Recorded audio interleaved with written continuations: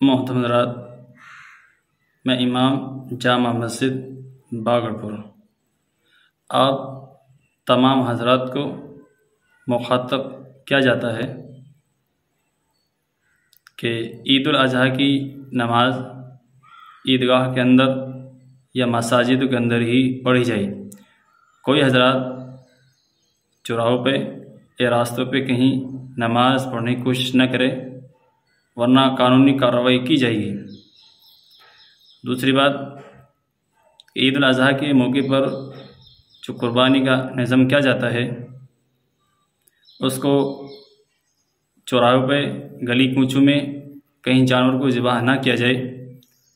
सिर्फ़ बंद जगह के अंदर ही कुर्बानी की जाए और गवर्नमेंट की जो गाइडलाइन है, उसको मद्देनज़र रखते हुए किया जाए। वरना कानूनी कार्रवाई की जाएगी, जबकि इस बात को आपको बार बार समझाया जा रहा है और तकरीबन हर साल आपसे कहा जाता है कि हमें शरीयत के अंदर भी ये इजाज़त नहीं है किसी को परेशान दी जाए या कोई जानवर किसी जानवर के साथ ज़िबा किया जाए या चौराहे पर ज़िबा जाए, किया जाए। नहीं, एक तरफा कहीं बद जगह में कुर्बानी का इंतज़ाम किया जाए, उसी जगह उसको किया जाए और बाकी जो उसकी गलाजात हैं जो भी चीज़ें निकलती है उनको सही अंदाज में, सही तरह दफन किए जाए, कहीं फेंका ना जाए। यह आपसे दरख्वास्त है और उम्मीद है कि आप सभी हजरात इस पर गौर फरमाएँगे और इन उम्मीद है कि आप हजरात ज़रूर इस बात को मानेंगे। अलकुम। बसमीम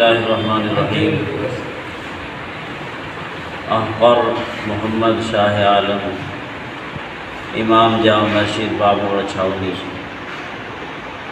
मैं तमाम हजरात से अपील करता हूँ, गुजारिश करता हूँ कि ये ईद अज़हा का त्यौहार हमारा अमन व सलामती के साथ में हम मनाएँ और क़ुरबानी भी हमें पर्दे के साथ में क़ुरबानी का भी अहतमाम करना है कि क़ुरबानी रास्ते में ना करें, बल्कि जो क़ुरबानी की जगह हैं जहाँ क़ुरबानी होती चली आई है, वहीं क़ुरबानी करें।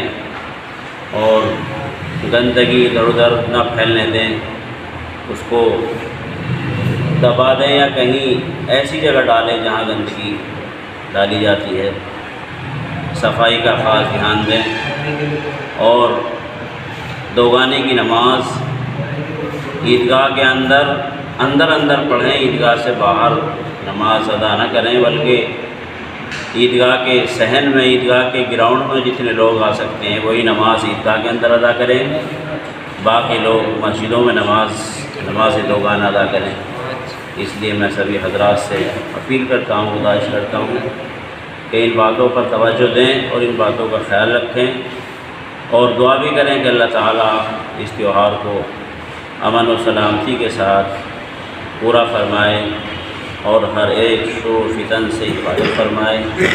अल्लाह ताला हमारे इस मुल्क की और मुल्क में बसने वाले तमाम लोगों की हिफाजत फरमाए और भाईचारगी के साथ सबको रहने की तोफ़ी अदा फरमाए। वाफ़िर अलहमदिल्ला